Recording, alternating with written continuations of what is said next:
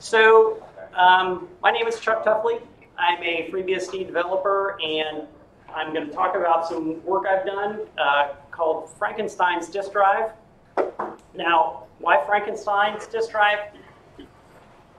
Partly because a framework for user-defined drive behavior via the hypervisor's emulated device was too many words to fit on this slide. But more, I wanted you to have a particular picture in your head. Okay, so not quite this picture, but what I wanted you to picture was taking a totally normal thing, this, this perfectly functioning drive, and adding parts and pieces to it until it behaved the way you want when you wanted it to. And unlike Dr. Frankenstein, in most cases, we actually are trying to create a monster. Okay, so why would you want to modify a perfectly good device? So I develop uh, NVMe devices and software. And so when I saw this tweet, it kind of piqued my curiosity because this isn't an error I had seen or experienced before. And I kind of wondered if the FreeBSD NVMe driver or some of the file systems that sit on top of it were having a problem with it. And because I couldn't get access to this system or the device in question, the question was how to investigate this. And so before we get too far down the path, we're going to be talking about lots of bugs and failures, and this is not a criticism in any way of any of these pieces of software. Bugs are a totally normal part of this process, and everything in this talk handled my views fairly well. So the question is, how do you test device drivers or system software in that case because they are slightly different. So when you test other normal pieces of software, you can do things like have unit tests. And so in this case, the testing methodology would look something like give it some good input, give it some bad input, give it some random input. And this actually works fairly well because you control both the code and the stimulus. But with drivers, you don't entirely control the stimulus. So what do you do? Testing the good pieces is very easy because everybody wants stuff to work. And it's, it's really testing the error path that's the hard part. Now, you'll see errors in the normal course of development, but they're somewhat random and sporadic. And, and what you're actually asking is, how do I get this hardware to misbehave in predictable and reliable ways? All while the hardware team's goal is to have absolutely no errors. So the two of you aren't going to get along. So the way that most driver code handles this is a couple of ways. The most common way is you'll have your driver plus kind of this error mode.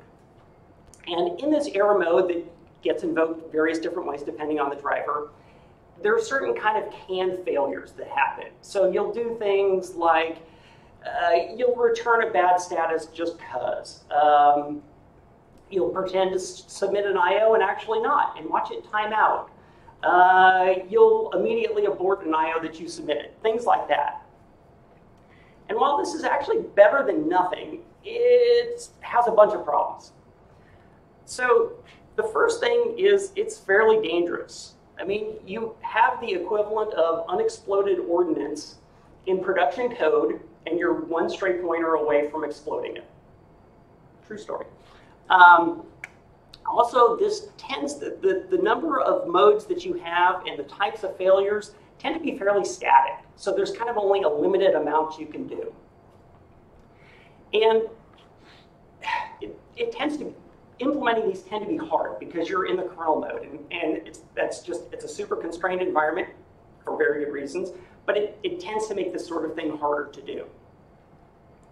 But when you think about what the driver's trying to do and what this error mode is trying to do, they're really working at cross purposes.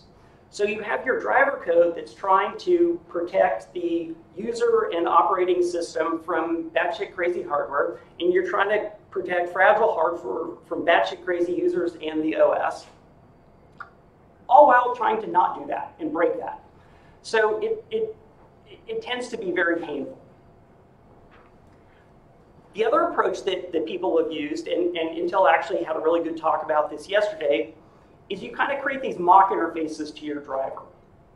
So with a mocked interface, you're pulling your code out of the kernel and you're creating uh, interfaces that mock the hardware and the operating system. And in this way, you can actually control the stimulus that's coming from both sides. But the problem with that is the environment is different. And it's only as good as your emulation of the, the hardware and your emulation of the, the OS. And kind of in the limit, you're recreating both perfectly. So the alternative that, that I poked around with is actually building virtual hardware with customized firmware. And so what this looks like is a bhyve emulated device with some user-defined plugins. Um, and for this, I use the specific example of an NVMe device, although there's nothing super specific to some of this framework for NVMe. So we'll talk a little bit about the NVMe and the, the experimental uh, framework. So for those of you who haven't heard of it, bhyve is a hypervisor that was developed on FreeBSD to run virtual machines. And it takes advantage of the hardware virtualization features of the chipset, and for the most part runs in kernel space. But it actually does emulate some devices, and this is mostly for OS compatibility reasons. And this is kind of our virtual hardware. And so the way this works is when you're running in kernel space, when a guest accesses um, memory to one of these uh, emulated devices, it causes a VM exit or exiting from this, uh, from the virtual machine. So in our example, this would be something like accessing the NVMe registers, memory map registers. So, that, so then, at this point, bhyve will then handle these device accesses in user space. And this kind of forms the basis for our customized firmware. Okay, so since we're going to be talking a lot about NVMe, I thought it would be kind of useful to do a it's not going to feel brief, but a brief walkthrough of NVMe, just to give you a better context of how some of these pieces are going to work. So NVMe is a storage standard that defines both the hardware interface and the command set.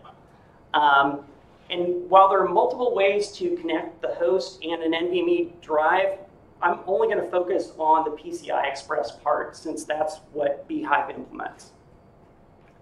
And one of the reasons that NVMe has become popular recently is because of its high performance. And it gets this high performance because it was defined, designed for multiprocessor systems. And when you look at what the traditional speed bumps are for drivers, storage drivers specifically, the two big hits are lock contention to hardware resources and register accesses. And NVMe's weapon of choice in dealing with this are queues. So the goal here is to efficiently pass messages between the host software, the driver, and um, the device.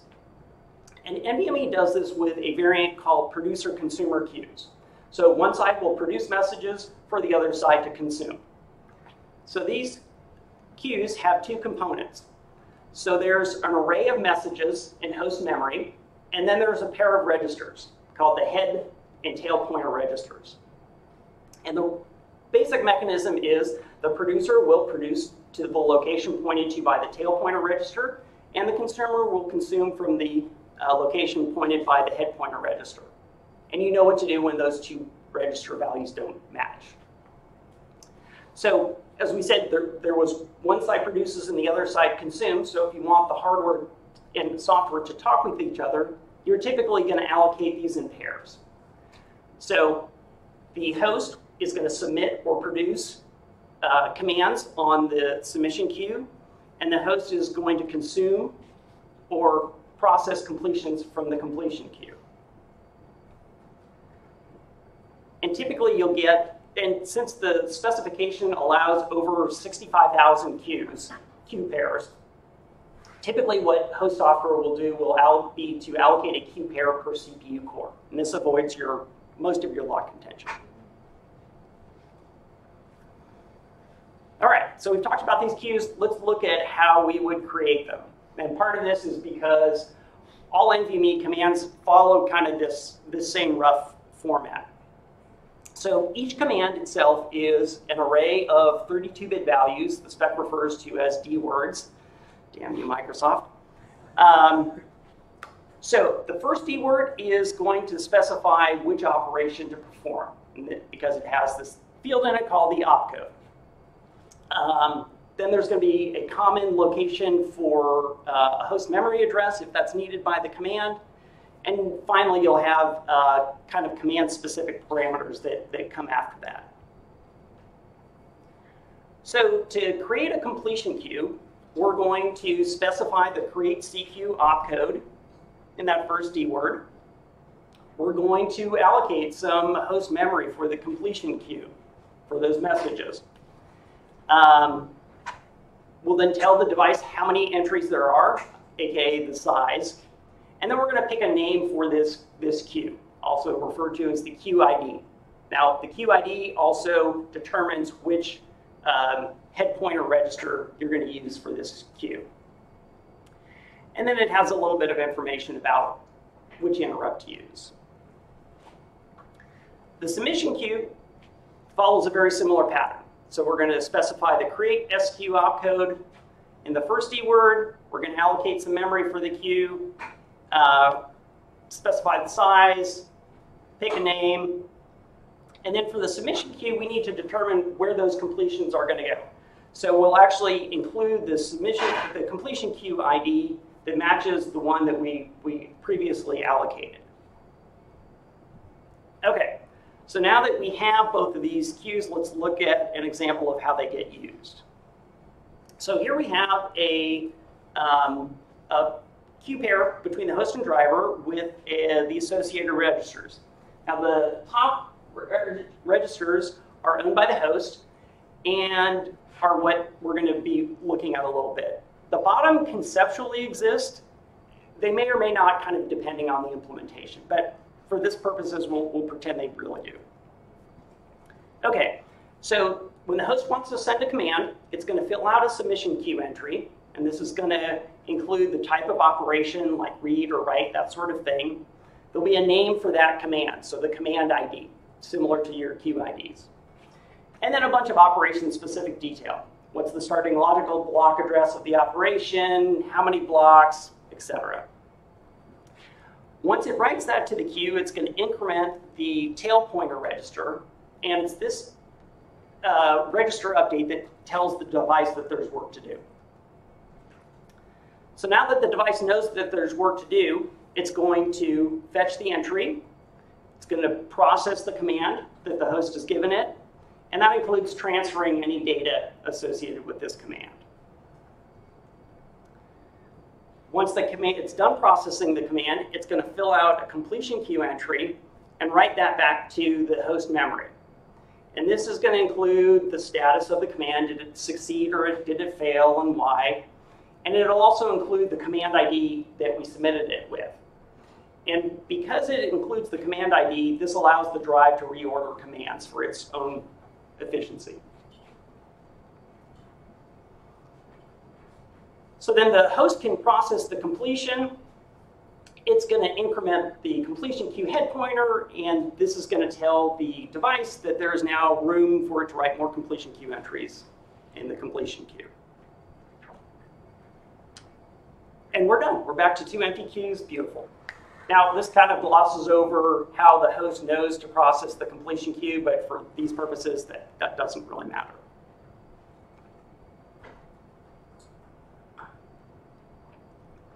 Now, the thing to notice from this walkthrough is there's kind of some similarity to RISC.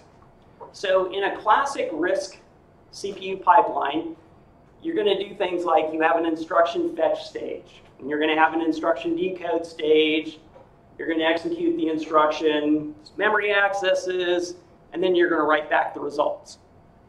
So when we look at it, this from the NVMe controller, or the, the, the drive's point of view, it looks very similar. So we're going to fetch the submission queue entry. We're going to decode the opcode. We're going to execute the operation, and then we're going to write back the results to the completion queue. And by giving the plugin access to each of these stages, we can customize what the firmware is doing, and thus the drive's behavior. So what are these, how do these plugins work? Well, they take an approach that's very similar to dtrace's static, um, statically defined trace points, meaning that there is a predefined tap or tap point at each of these stages in the NVMe emulation. And at each of these stages, the user can run code that they've given to, uh, to bhyve. And in this way, there's no need to modify bhyve itself to change the drive's behavior. So this plugin gets provided to bhyve via a shared library or a .so. And part of the motivation for doing that was to entirely sidestep the question of what shiny pretty scripting language should I use for this and just kind of get down to the basics. But it also doesn't preclude doing something like linking it with the Lua interpreter or something else um, if that becomes a, a good way to um, make scripting these things easier. Okay, so now that we have this, how do we refer to each of these tap points? And it's, it's kind of a string that we're referring to them, and it has a tuple. So the first component of this tuple is the module. And for my work, I implemented uh, NVMe and PCI, but you could easily imagine doing this for other things. Uh, the next stage is the component, or the next part is the component. So this tells you, am I working on an admin queue, an IO queue, because they can have similar named um, uh, stages. Um, and the, the last is the stage. And this kind of mirrors the, the stages of the pipeline that we were just talking about. So then bhyve itself is going to expect each of these plugins to provide a setup and teardown function. And these kind of do what you would expect. So the setup function is going to get called when the module gets, the plugin gets loaded, and the teardown called when the uh, plugin is unloaded. And then it's going to provide a way for the user to attach and detach callback functions to each of these tap points. So here you can see we have the bhyve uh, code or the bhyve functions to tap and detach taps. We've used a macro to declare our callback function called admin command. And then in our setup function, we call plugin tap attach with the tuple for NVMe admin decode, and that will run our function when that tap gets hit.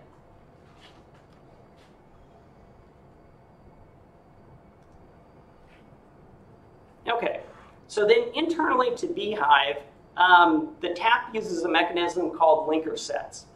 And this is an approach used all over the operating system to group kind of group objects into special sections of either the executable or, the module. And it really most it does some other stuff, but it mostly simplifies the mechanism for registering these objects.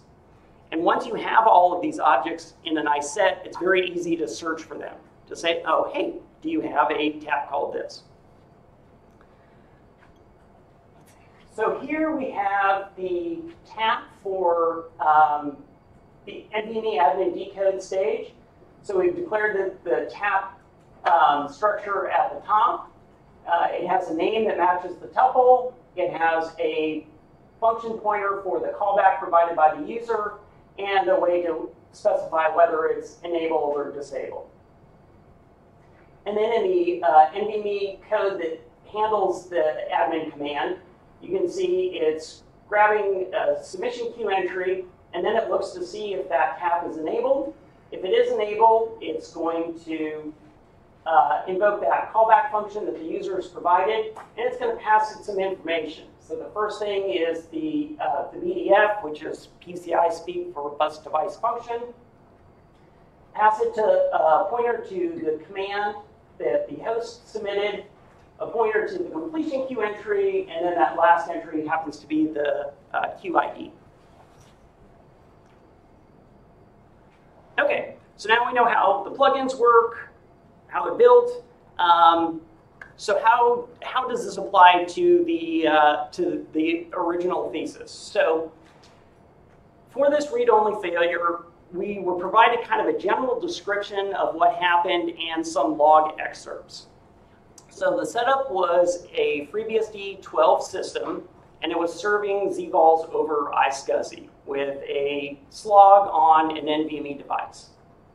And the NVMe device is report, or the NVMe driver was reporting that it was in, device was in a read-only mode.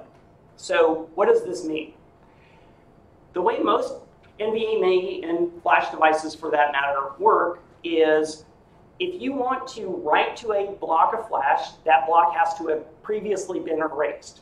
And to complicate matters, those blocks can only be erased a fixed number of times. So after you eventually run out of erase cycles, you end up with a device that can only be read. This is the, the log excerpt that we got, kind of lightly sanitized. And so you can see the NVMe driver up there reporting an async event. So what the heck is this? This is actually an NVMe asynchronous event notification. This is a mechanism that the uh, spec uses to communicate events that are outside the context of a particular command. Now, while bhyve doesn't implement asynchronous event notifications or requests yet, um, this is actually okay because the FreeBSD driver doesn't actually do anything with them other than report that it got them. Now, the one note, odd thing about this excerpt that we got was there were no actual errors. So no IOs had actually are being reported here as failed, which I found weird. But anyway, so getting ahead of myself. So, assuming that that log message is what's going on, how are we going to implement this? So this is actually the entire plugin, uh, minus the pound includes, because those don't really matter. And the, the, the philosophy here, or the theory here, was after some number of writes, just return a good status. Don't actually do the data transfer. So, uh, we declare our callback function up at the top. We're going to call plugin tap attach to attach it to the NVMe IO decode tap. And then we have this number of writes that we're going to fail after. So we're going to fail after 5,000 writes. Why 5,000? Why not? unique some number. And then this is our callback function. So it's going to look at the command that's passed in. If the opcode says this is a write, it's going to decrement that number of writes.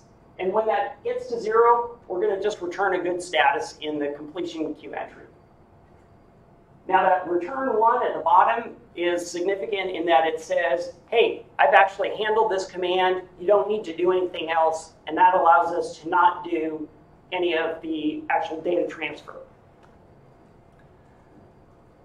So that's great. So we compile the so you compile the plugin, you pass this to bhyve on the command line, you fire up some synchronous writes to your zvol, and nothing happens.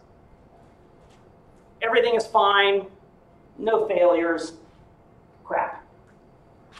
So you go, okay, fine.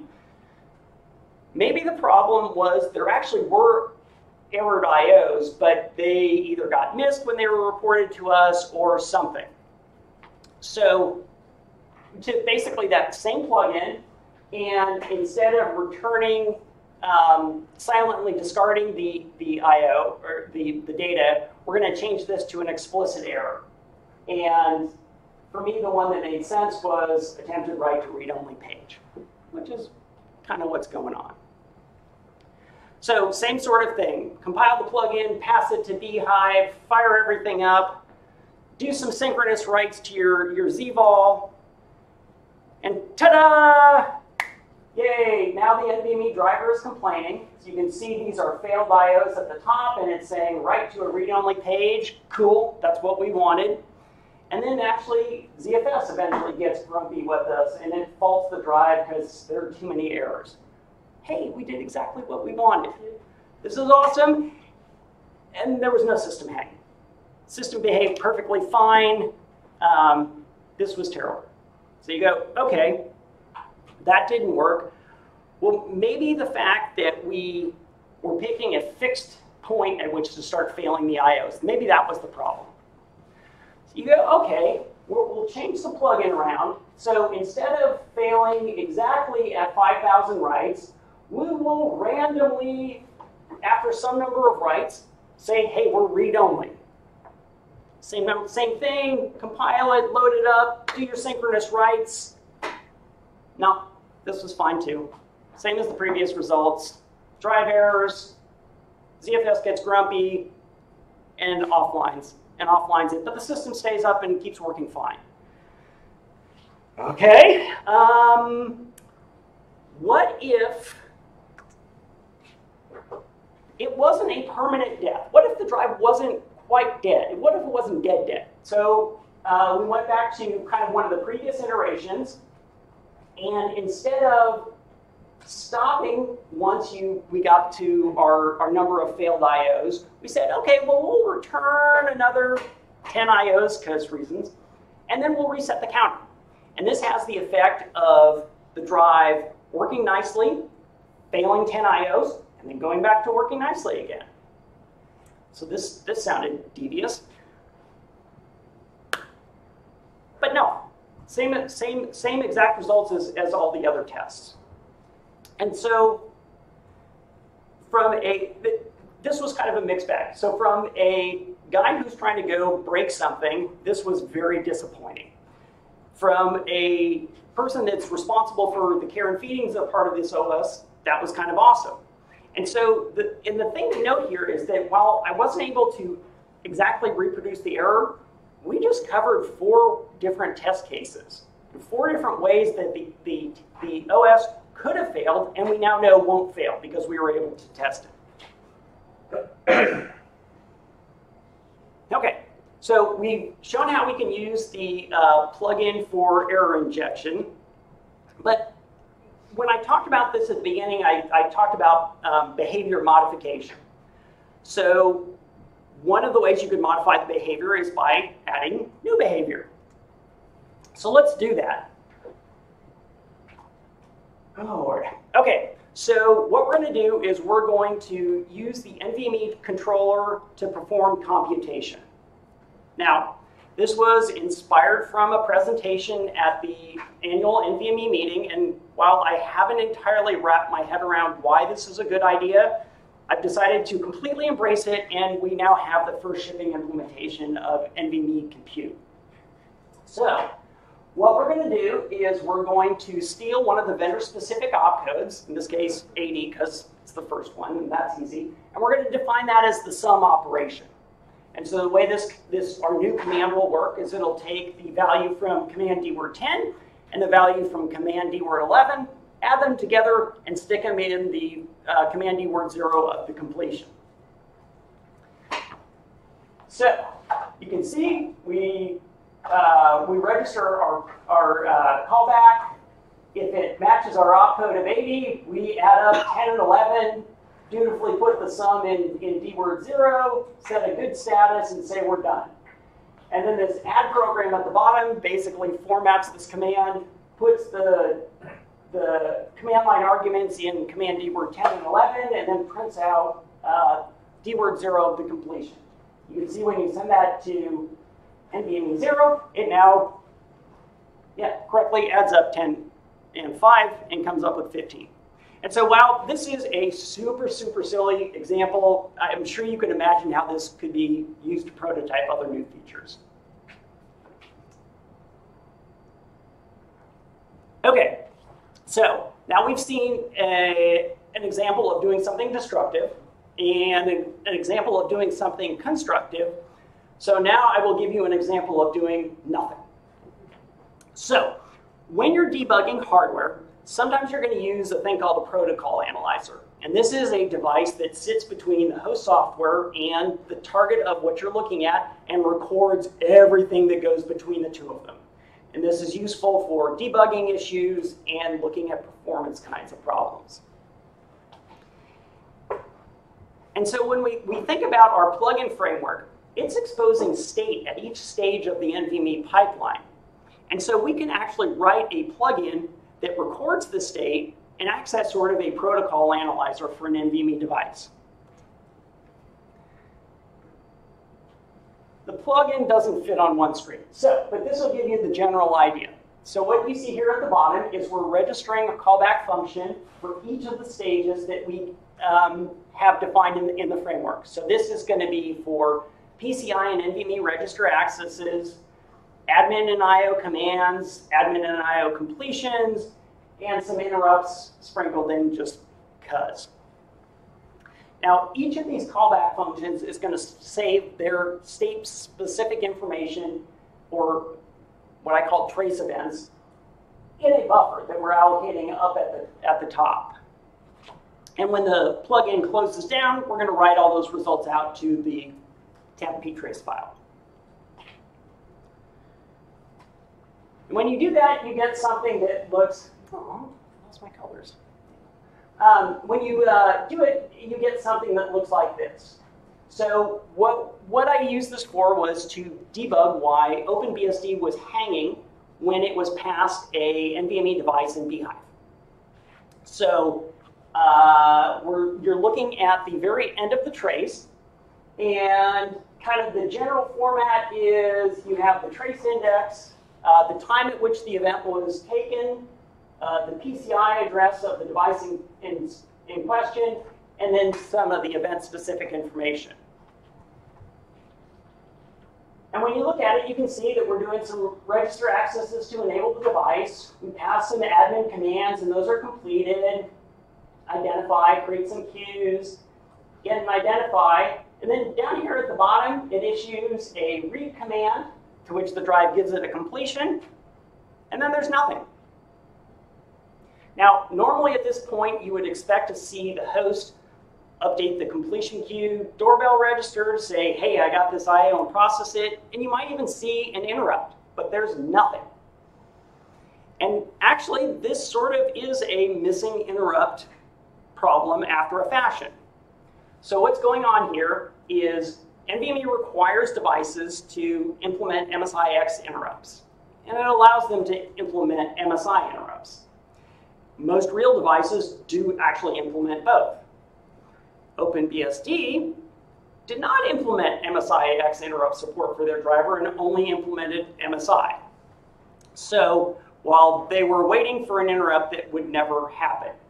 Now, when you go in and, and it was a all of one line change to fix the, change the OpenBSD driver, uh, everything worked just fine. So I know what you're thinking. I mean, Chuck, this is great and all, but I didn't drag myself all the way to Canada to look at your silly text output. And while that's honestly a little hurtful and harsh, you're absolutely right. So, what we have here is uh, Wireshark decoding uh, NVMe traffic from bhyve.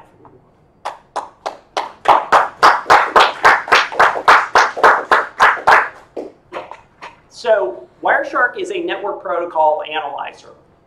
And I picked this one because it actually had a, a NVMe dissector or packet decoder already for NVMe over fabrics. NVMe over fabrics is just a way to pass NVMe commands over fiber channel or, or Ethernet. And the, the thing to note here is this isn't just wrapping a pretty GUI around the previous output. So while I did start with the previous plugin, I ripped out all of my code that wrote to this ring buffer of events and actually substituted in libpcap. Uh, PCAP is a portable C, C++ library for network traffic capture. Then I invented a uh, NVMe over bhyve protocol, and in less than an hour, I was able to save traces in libpcap format from bhyve.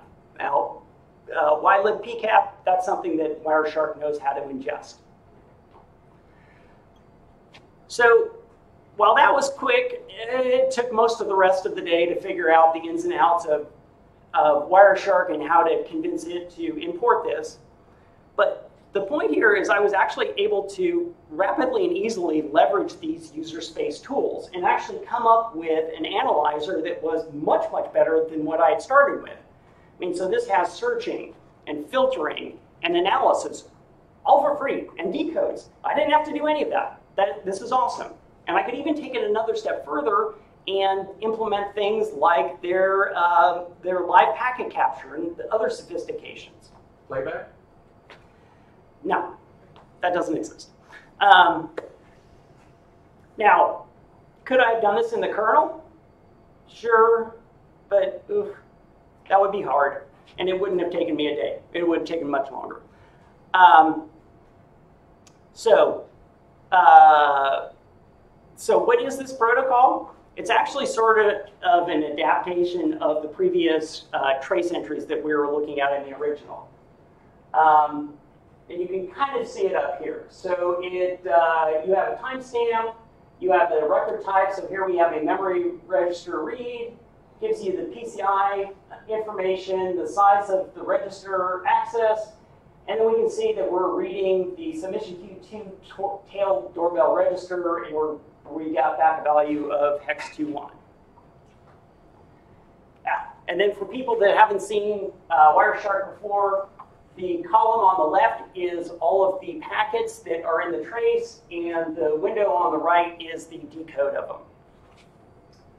So then walking through that, after that uh, submission queue uh, doorbell right, we can see that we got a command, and it's showing that this is a write command.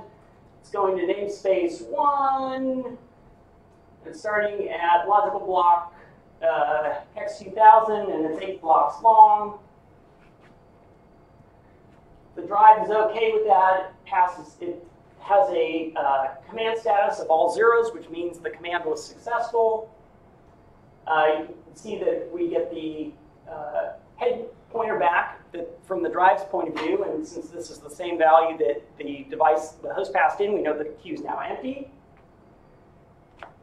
And we can see the command ID. And lastly, we have the host writing the completion queue to head doorbell register, indicating that it's actually processed that completion.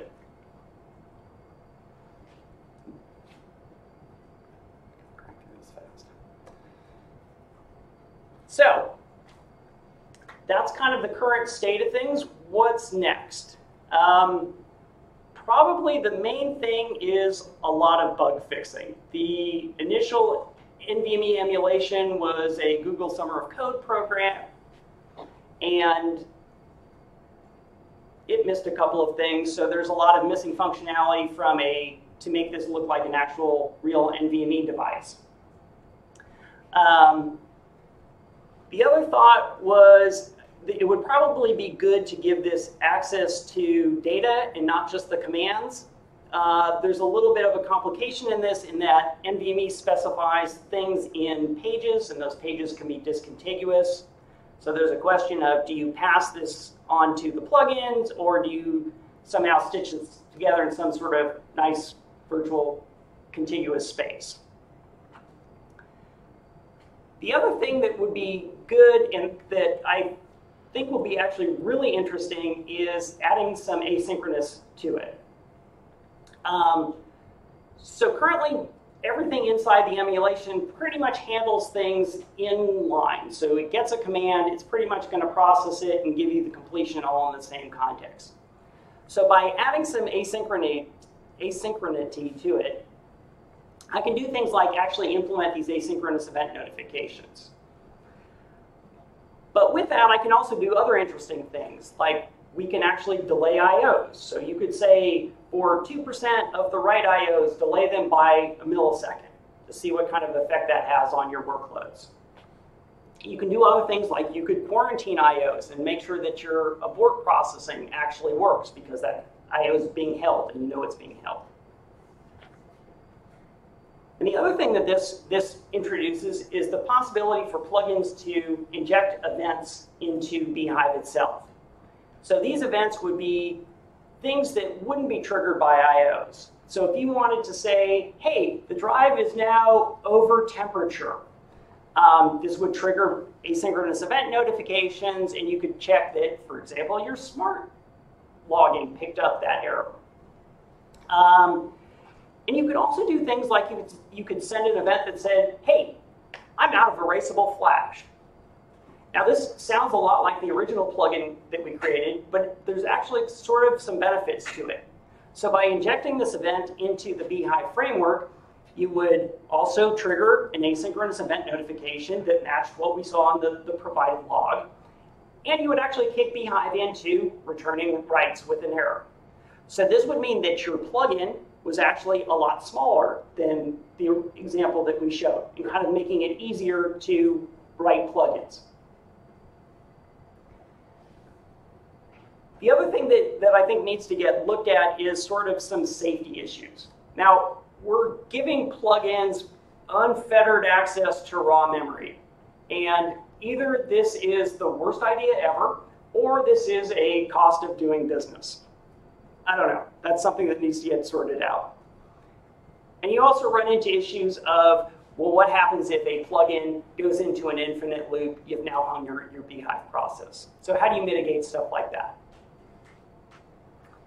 And finally, what sort of what sort of things would you features would you like to see in it that make it useful to you?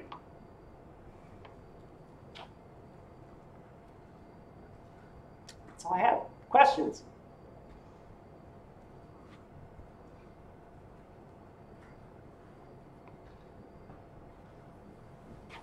Do you have any other guesses of what happened with the NVMe drive that perturbed the system so much?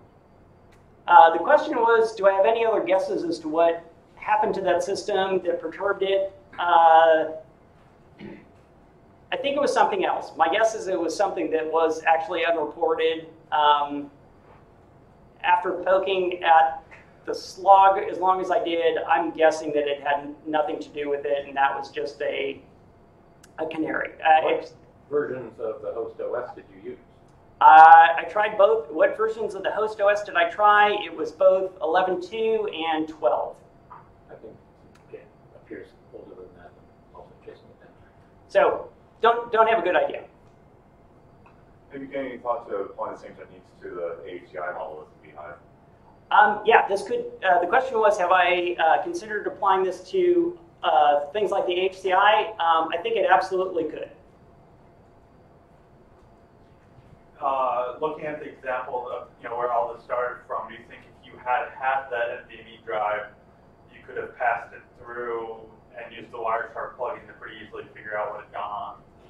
So the, the question was, if I had had access to the drive that failed, um, could I have passed that through to bhyve and used the uh, Wireshark plugin to figure out what was going on? So, so there are actually two parts to that. Um, if I had access to the drive, I would have had it in an already access to it in an already failed state, which may not have given me the, the trigger point. The other thing to note is that passing through a physical device doesn't give the emulation any visibility into what's going on. So, so all of the tap points that we were talking about don't exist for the physical hardware. It's only when you're using the emulated hardware. Could you make a dummy device that uh, serves only to capture the events to an actual physical device? Uh, the question was, could I sort of proxy the commands that were coming in to a physical device? And yes, I think that, that would work. But then you get back to the device is already in a failed state, and that may or may not let you, uh, As a diagnostic as a diagnostic, but as a diagnostic, that would be, that could be very useful, yes. Uh, you've told uh, you have to spend time uh, making Wireshark to parse your command stream. Uh, is it like some plugins there?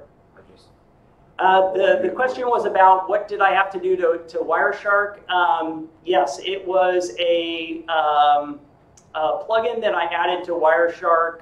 Um, and most of it was getting Wireshark to understand the encapsulation of the NVMe and say, hey, yeah, this next part is NVMe, and then let it do the, the decode. Are you gonna release that plugin that you wrote? Uh, am I going to release that plugin? I absolutely could. It, it, it, it, I, I did some things in the plugin that there are big scary warnings in the Wireshark code that say, please don't ever do this, we'll hate you forever.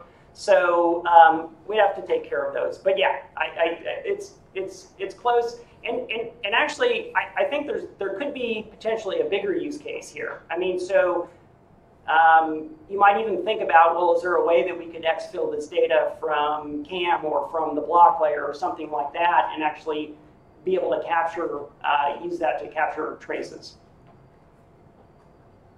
Is there a review or commit for the uh, bhyve parts? Is there a, a review or a commit for the bhyve parts? Um, no. Um, and, and the only reason is I haven't quite figured out how I want to do this. The, the problem is uh, the bhyve emulation code is generously a moving target. Um, so there are enough things that I'm fixing in it um, and enough things that are changing, which is going to make this plugin structure fragile. Um, but one possibility, um, and I'd love some feedback on this, is perhaps I could make a port of this of just the bhyve portions with the um, with the plugin code in it, uh, and have something that tracked 12 stable and current, maybe. I don't know. Wouldn't it make more sense to have it in the tree because everything's moving so much? Um, I So that so that the 12 current stays with the 12 and the 13 stays with the 13, and we MFC fixes to it along with changes, you know, that come back. potentially. Okay. A- a- Again, I get a little, I get a little nervous about kind of the, the raw memory access. And maybe this is fine, but I, I haven't thought that through enough and, and could use some feedback from others on whether this is good or bad or maybe doesn't matter. I'm perfectly happy only running it on systems that I don't care about. I'm very, I have lab boxes for a reason. I'm just saying, uh, a, huge use case, and actually answering your question from the pub the other night, how would you like to see this? Is I kind of um, would like to see uh, emulation of a new uh, vendor ID probably for um, the NVMe, or have have a plugin to tie this into FreeBSD CI. I would like to have a have this all in there, but then also have a plugin that does a new NVMe uh, vendor, uh, and then does a series of the vendor-specific commands that say cause this to fail, cause this to fail, cause this to fail, cause this to fail, cause this to change, and then write a set of QA tests around it that all you need to do is load the plugin, bhyve, and then run QA on top of that bhyve, and just say trigger this opcode, and then run this test and see what happens. Does that seem to fit with what you're doing? That that would be Yep. a good implementation model potentially Yep. instead of trying to be on the inside and outside at the same time. Yeah, I think I think that would be a, a really good use case for this. Um, I'm I would like to to make this code available. I'm just trying to figure out the way that will cause the least amount of pain. I'll get you the code. Don't worry. I know. I Stop worrying. I just wanted to share with everybody here in case anybody here had any other ideas. So I think that would be the smoothest way to tie it into both IXCI and uh, FreeBSD CI for a lot of purposes. I, I had the same immediate thought when you did math using a. command. Yes, yes, exactly. It's not that I'm like, oh, Program how often it should fail or when Mhm. they should be real. There, there are all sorts of ways we could abuse this. And there, and there's probably there, there may even be use cases for stacking some of these plugins on top of each other, which which the current framework doesn't support, but I don't think it would be that hard to to add. I mean, does the size of the plugin matter? Can we have a monolithic plugin which gives you know X vendor codes for X situations for, for CI testing? I don't think so. The question was, does the physical size of the plugin matter? I don't think. I can't think of a reason why that would. Eh, You know, this is this is a shared object. This is code you're you're loading and running. As long as the system has enough memory to support it, I don't see why not. Uh, you currently define it for disks, would it make sense to also define this kind of thing, or maybe there's something that already does it, for various transports or serial protocols, or I'm thinking, if I want to debug a serial protocol, or a, you know, inject faults into TCP, or that, that kind of stuff. So the, the, the question was whether this could be adapted to other types of hardware to do very similar things so that you could do things like, for example, debug the serial port. I absolutely think it could. Um, it comes down to spending the time to create an emulation. Yeah, I, I think it came up at DHICon about a way to try to generalize this so that it can be used for everything. You're the liking the auto review thing for previous email chat. Sure.